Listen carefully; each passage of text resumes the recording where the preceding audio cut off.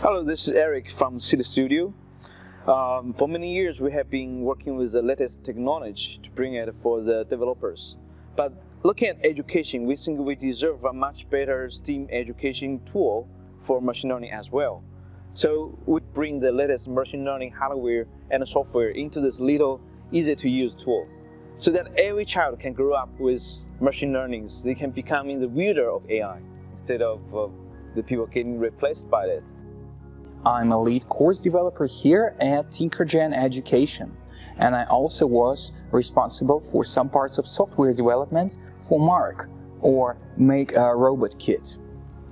In the beginning of the Mark development process, in the spring of 2019, the whole product definition for Mark was entirely different. At first, we thought about it as a hardware platform integrating various control boards and sensors together.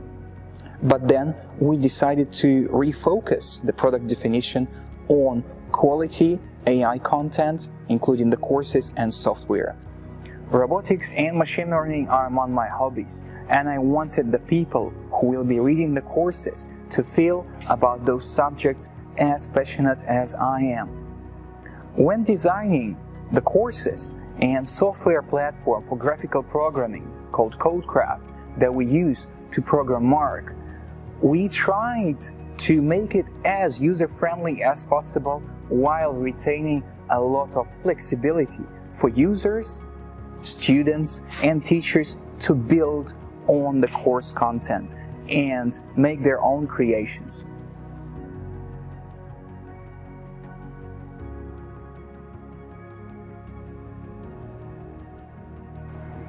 大家好，我是 Mark 小车的外观设计师，这个就是我的亲儿子，我为他花费了非常多的心血，现在他变成这个样子了，希望大家可以喜欢。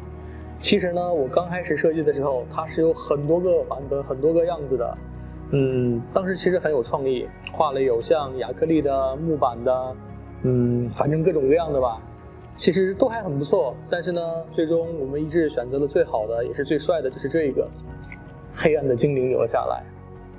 真心希望大家可以喜欢。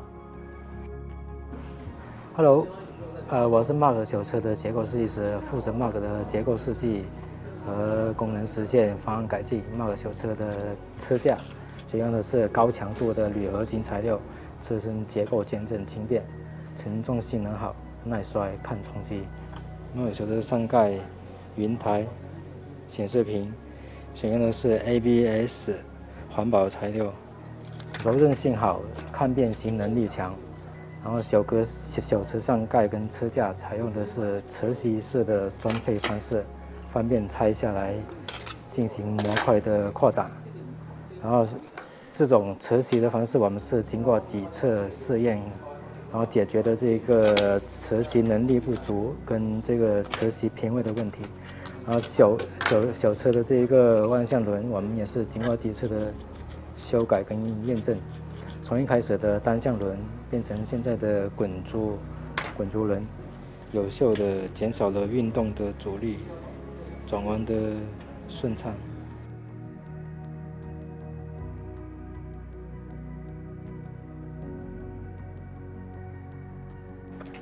Hi, I'm Jamie, software engineer at Tinkergen Education.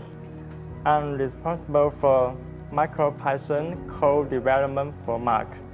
Let's take color recognition as example for tasks Mark can do. And for color recognition in the first step, we first set the circles detection threshold and the regions of interest. Then find the circles in set right and then calculate the average RGB values of the pixel in the circle. Second, compare the preset RGB value of colors with the RGB value of the circle, and finally get result.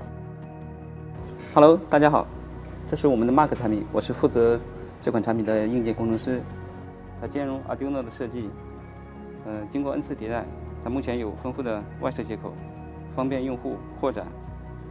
最上面呢有两路 iPhone C 接口，中间呢有八路数字接口，最下边呢有四路模拟输入接口，这里呢有四路舵机接口，一路步进电机接口，这边是两路直流电机接口，方便用户接入各种的模拟数字的传感器，做出很多酷炫的产品应用。